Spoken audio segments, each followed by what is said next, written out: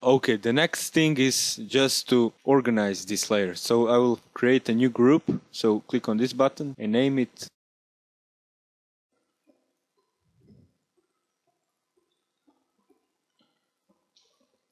And select all the layers and put them in this map. So select the first, scroll down to the last, click with, hold down the shift and click on the last layer. And then just simply grab them and put them in the folder. Minimize the folder. Okay, now I would like to work on the back side of the DVD cover. So move the back side to the front. Now let's import another image. So click on File, Open, and Actually, let's import six images. These are the screenshot of my imaginary movie. Select all the images you would like to import.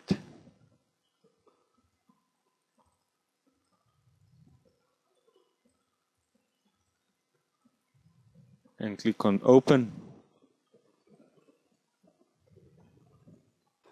Now change the screen mode view and put all the images in our project. So just choose the selection tool and move them inside and close the image.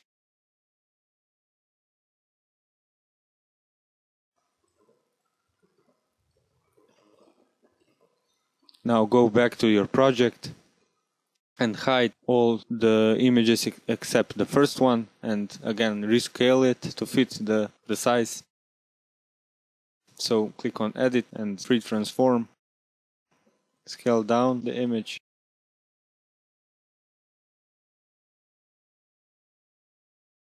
click on the check and continue with next one.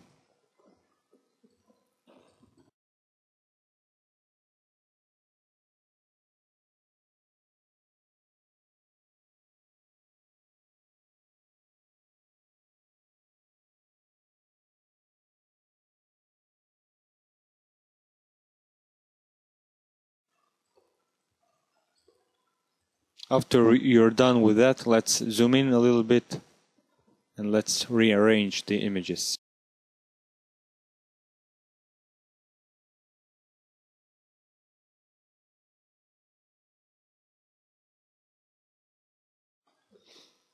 Let's first set the guides for the images. So click on View, Rulers, and just pull down the guide to match the title. And again click on view and snap to guides. Now move the images to snap to guides.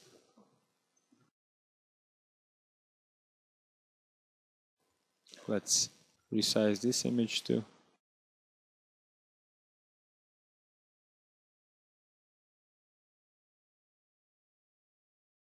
Now let's pull another guide out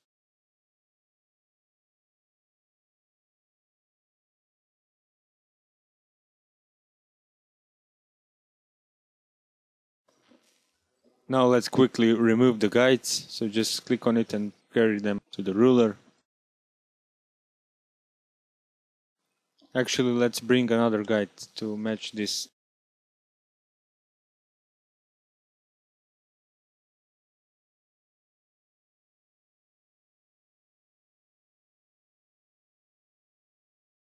This looks pretty good, so just delete the guides again.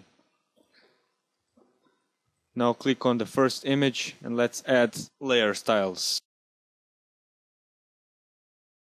Click on the stroke. Let's add a white stroke around it and let's add an inner shadow.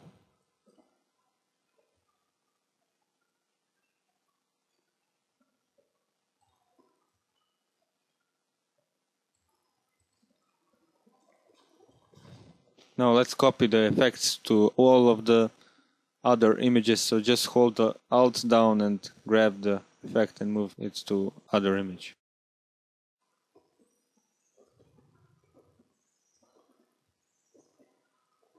Now choose the text tool again and type screenshots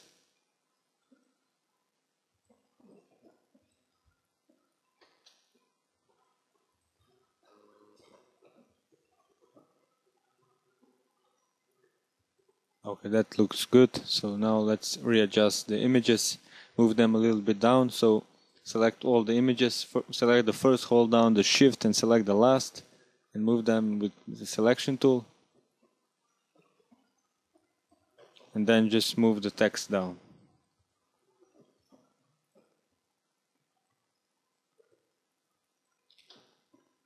Then just choose the text tool again and write story.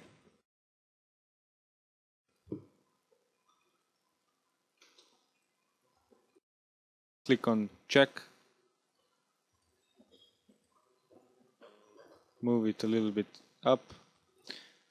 Then write the story of your movie. So let's paste that in.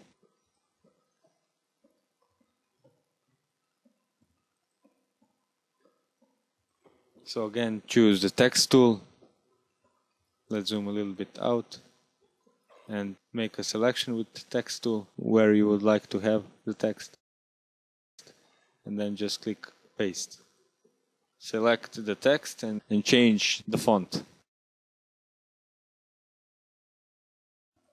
This one looks alright, so let's adjust it.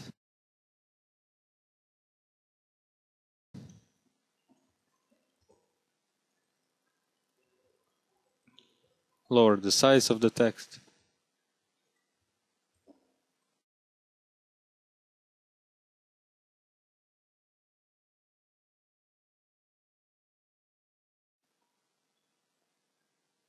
And then simply click on the check. So here you can also add some, let's say, signs for DVD, for Dolby Digital, or your credits, informations about your movie, or whatever you want. So let's again create a new folder, name it backside. Move all the layers in that folder.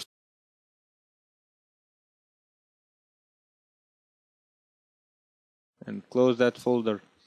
Now move the middle part down and let's add the text to a middle part. So grab a text tool and write uh, a title of the movie.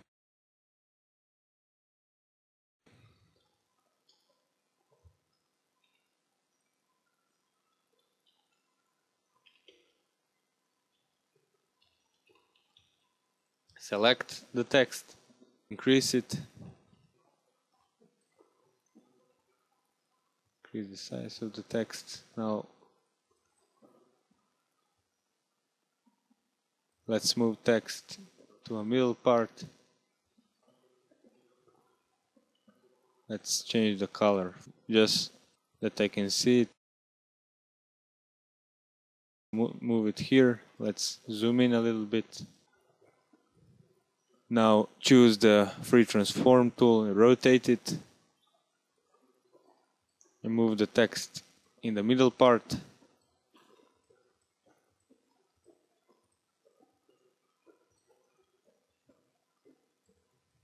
You can increase the size of the text or the spacing.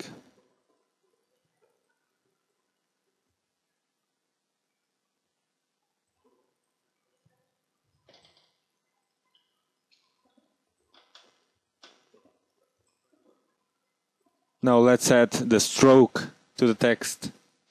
So just click on this button and on stroke, choose the color, and choose the bevel and emboss and the contour and, and click on OK. Adjust the text. Now click on on the middle part layer and click on the layer styles button and then simply on inner glow and adjust the size of the inner glow.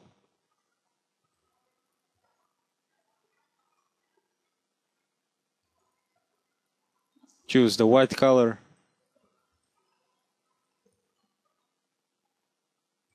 and click on OK.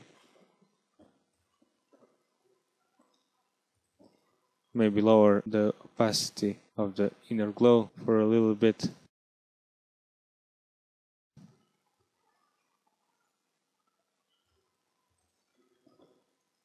and you're basically done. We can also add uh, bevel and emboss and other effects to the text, but you're basically done. So let's see the result. As you can see, we created an interesting DVD cover. So thank you for watching and please subscribe or like if you enjoyed the tutorial and have a nice day. Bye.